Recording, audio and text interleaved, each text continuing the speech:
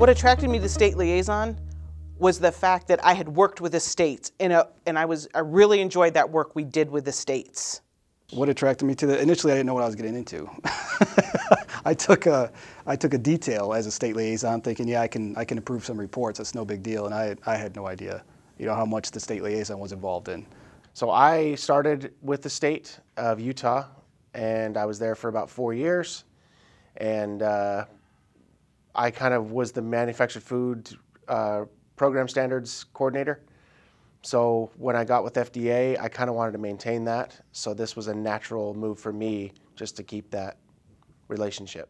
As a CSO, I worked with state liaisons, but I had no idea what a state liaison was actually all about until I got in the position. And I wish, you know, people would, would know really how much goes into this position, especially for the people that are um, have been in it for a long time.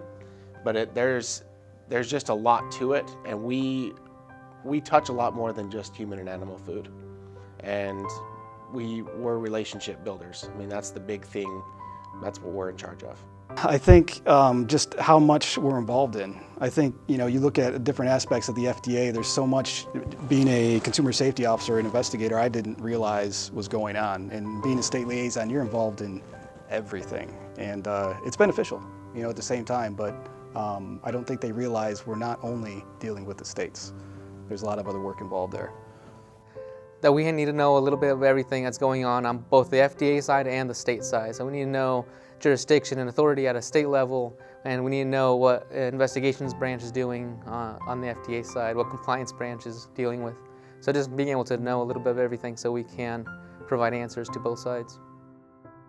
I think that position is meant to help, you know, the state and FDA form that great relationship.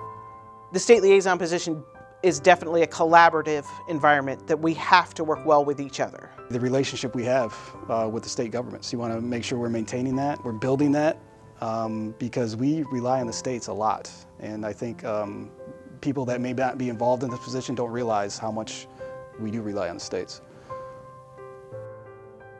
I feel privileged to be able to work with the FDA. I feel the FDA has a lot of great information and, and they're, they have connections and ties to a lot of other agencies that we don't have particularly. And I think it's important for us to have a strong relationship with our federal partners. I do like my job. Every day is different. Uh, you, like I said, you can plan for one day, but it doesn't turn out the day you, like the day you had planned. I do like my job. I think there, there's a lot. There's a lot of moving parts. There's a lot involved, um, but I do like working with the states very much. And as a state liaison, I like being a problem solver.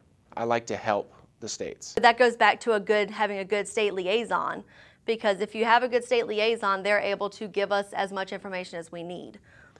I think this is a great, great career move. I mean, especially just talking about for me, um, this is a great spot. You do you get your hands in a lot of different pots, and uh, you know there's a lot of different areas we touch. So there's not a lot more I could ask for in a position with FDA. I think this is great. It's a very wide uh, opportunity. I've been in this position for 19 years prior to this, the title of state liaison. Can you think of doing anything else? No. At this point, no. I love what I do. We hope this information gives you a little insight into the day in the life of a state liaison. If you have more questions, contact your local state liaison or email.